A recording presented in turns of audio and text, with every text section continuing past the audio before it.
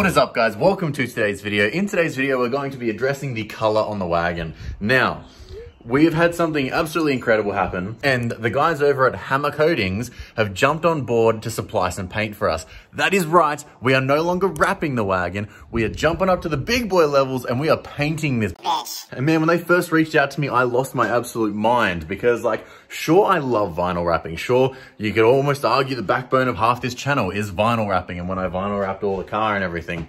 But at the end of the day, paint is king. And at the end of the day, I chose this wrap because it is the closest color I could find in vinyl wrap to the paint that I one day wanted to paint the wagon. So fast track however long it would have been until we would have originally started to be in the position to paint this. And come this weekend, we may be painting it. Now, the color that we are going is still a red because obviously we've just done all this freaking awesome merch. If you want some of this, jump on the website now and pre-order it now. At the end of this week, it's gone. So make sure if you want it, pre-order it now because this stuff is sick and it is flying off the shelves, even though it's not on the shelves yet, but we have gotta, you know what I mean? It's gone. It's going like Bickies on a... I don't have any freaking analogies, but you know what I mean. Yeah, so everything is red. Everything, the wagon is revolved around being red. And if we're going to keep this dream alive and get this wagon to someone that's red, we're going to do it the best freaking way possible with some of the coolest paint I've ever seen. And I can't wait to get this color on the car because it's going to look mental. Now, I will put up like some little pictures and videos just here, but these videos were sent to me on Facebook. And remember, Facebook kills the quality of any video, especially if you're sending it in Messenger. It freaking turns it to potato instantly. So this is the color that we're doing. It's a complete custom color. It is just a dark, freaking awesome red with a heap of flake through it. Um, it's not actual metal flake. I can't remember what the name of it is. It's not actual like metal flake. It's actually, it's got a different name to it. It starts with an X. I, I can't remember what it is but it's gonna look freaking retarded on the wagon. It's gonna look sick. And now all of a sudden, we're like building this insane, huge freaking car. It's gonna be painted, it's gonna be built, it's gonna be freaking, it's gonna be gnarly, man. Like, look at where we've come from in the last freaking six months or whatever. Like from where the wagon was to, well, now it's not much at all, but it's gonna be absolutely sick by the time it gets to Summernats, and I can't freaking wait. So, what we're doing this week is we're gonna spend the time to prep the car.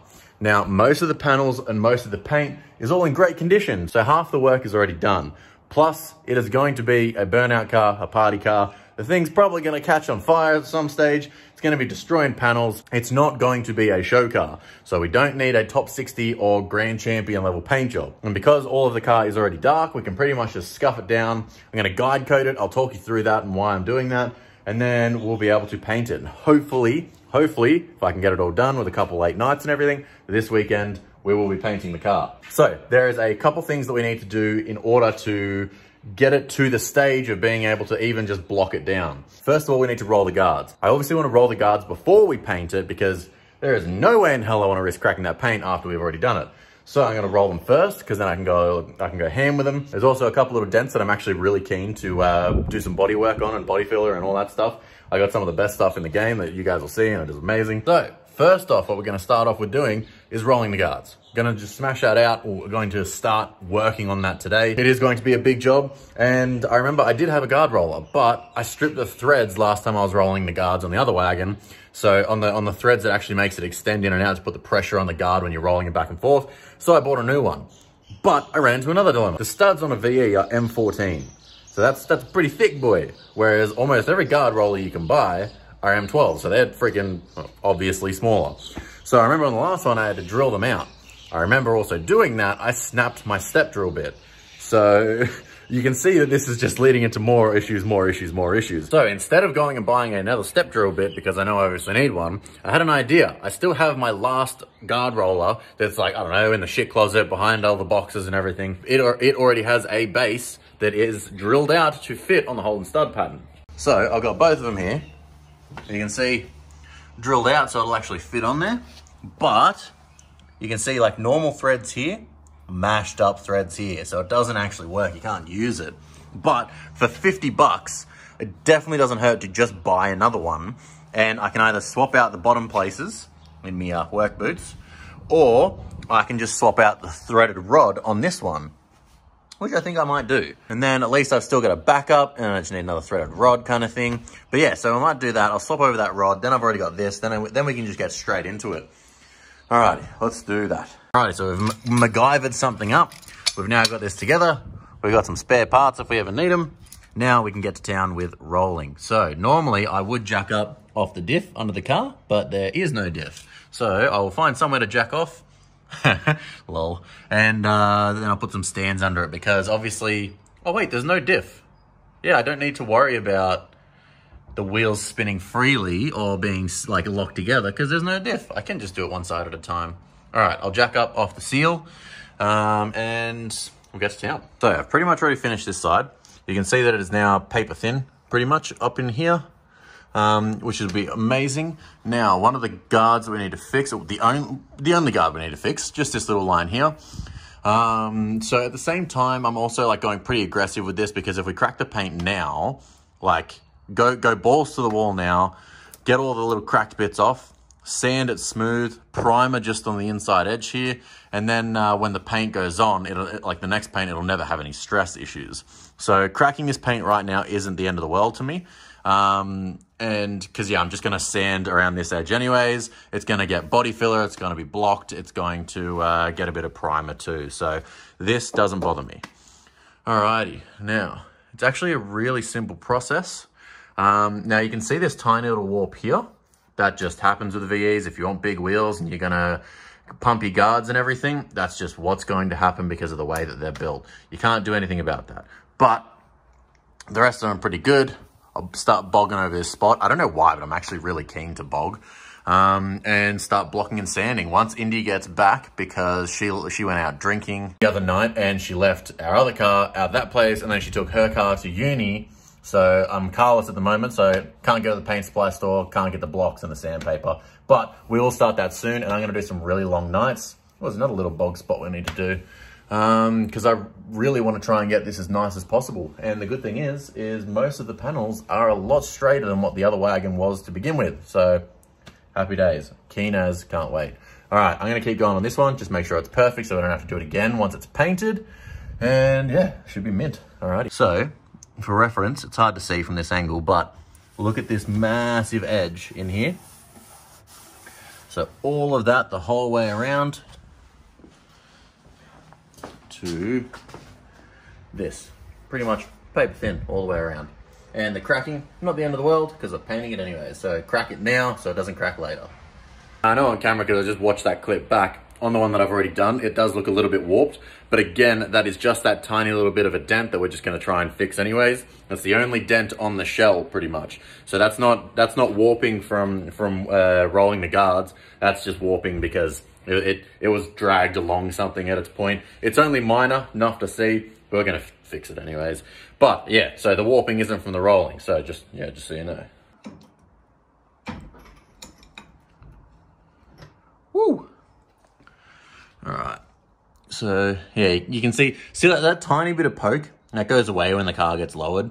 But uh, yeah, I've, I've noticed that like, if you look from up here, you can kind of see where the dent is, it does go in a bit. So we're actually gonna lose a tiny bit of real estate. I mean, you don't really feel it on the inside. It's probably just the difference between the outer skins. We're just gonna have to put a little bit of bog there, which may come off in the future, which I really don't like, but you can just see that it goes in there. That's all right. It, it should be fine. We'll, we'll try to do it as proper as we can. All right, time for a quick lunch break. Indy's finished doing what she's doing, so we're gonna duck out and get some food. All right, so we're back from lunch. We have the ugly pile of plastic interior parts to go into this wagon, and we bought some goodies.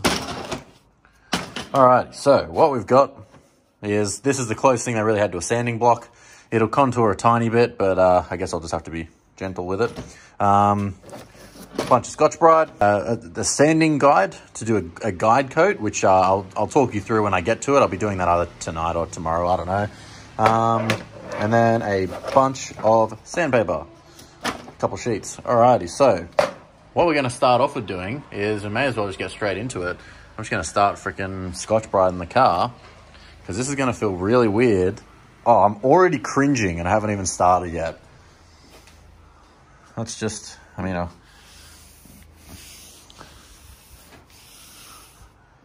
This already hurts me and I haven't even started. Oh, wow, that...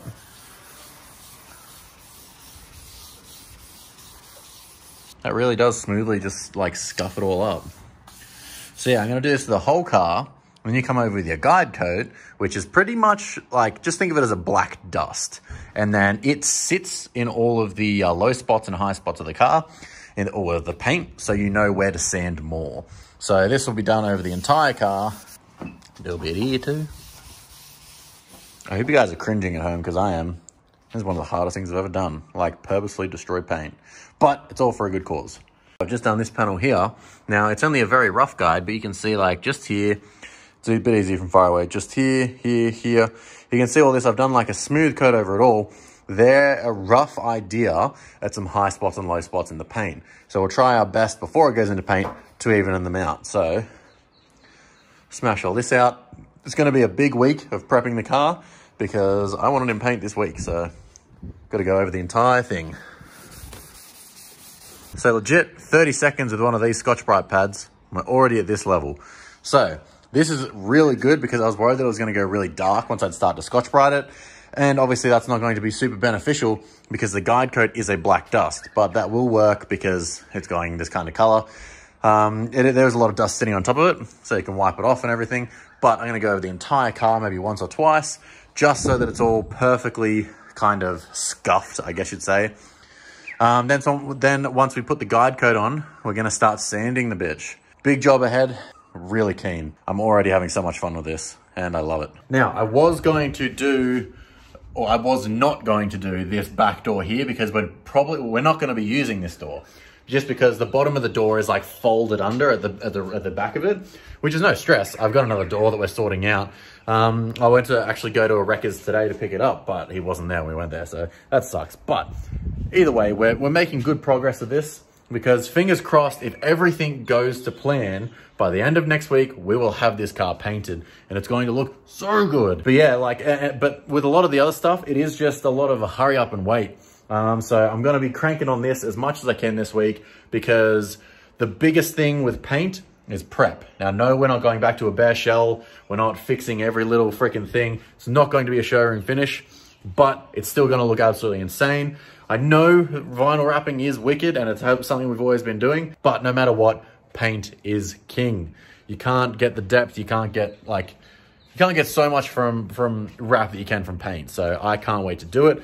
And we've got a lot of prep to do because we also need to strip out the rest of this engine bay so we can paint it. But we're already light years ahead of where we would have been with the other engine bay. So really happy with that. But that's probably where I'm going to wrap up today's video. Um, now this isn't going to be the end of today, what I'm doing. I'm going to be working on this thing all damn night. This is where I got to end today so that I can get it up and everything. Make sure if you guys want to get some merch from our new merch line, that you jump on the website right now and pre-order yours today. It has been flying. It has been going crazy. I can't believe how much you guys have been digging this first merch drop. And if it's any, any idea for what's to come in the future, it's going to be freaking incredible. You guys are amazing and you always blow me away. Alrighty guys, that's going to be it for today's video. I'll catch you in the next video, which will be Wednesday, 6 p.m., where we get most of this thing prepped for paint maybe some other cool things too that are on the way. But that's gonna be it for today's video. Catch you guys in Wednesdays, 6 p.m. Be there or be square. Alrighty guys. Peace. I've been thugging, you bitching and bugging. There's nothing that we got in common. I've been out grinding and hustling, investing this paper. Got tired of eating that. All of my music be heat, I ain't missing a beat. I've been blessed with impeccable timing. Watch all them people who friendly, it turn into envy whenever they see that you shining. Okay, I'm